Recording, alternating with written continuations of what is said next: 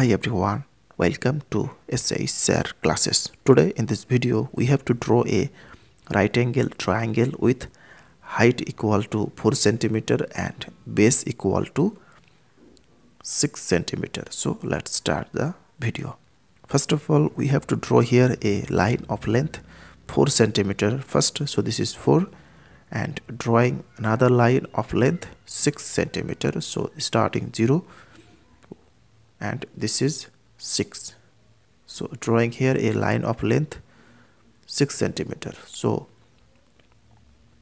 this side 4 centimeter and this side 6 centimeter. Now we have to draw here a line of length 6 centimeter. And this is the base of the right angle triangle.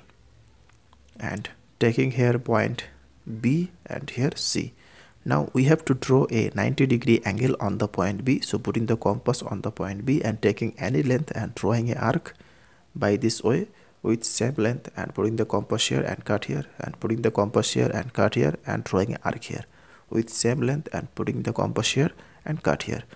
So both the curve intersect at a point. Now joining this side to get here a 90 degree angle. Now checking. So this is perfectly 90 degree. So this is 90 degree. Now taking the length 4 centimeter by using compass and putting the compass here and cut here. So taking here point a.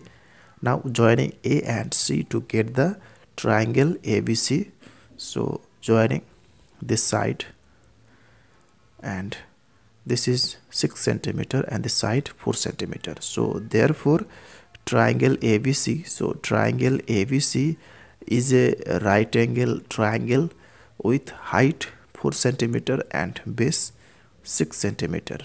So that's all. Thanks for watching. If this video is helpful to you then please share it with your friend. Thanks for watching and please like and comment the video.